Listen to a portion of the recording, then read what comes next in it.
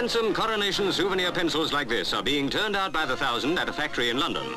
Every child over five years of age at school in London will be given one by the LCC next June. So that means that with six months to go, about 432,000 pencils have got to be made.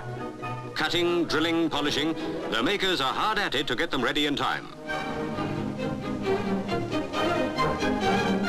Five million separate pieces are needed to make all the pencils.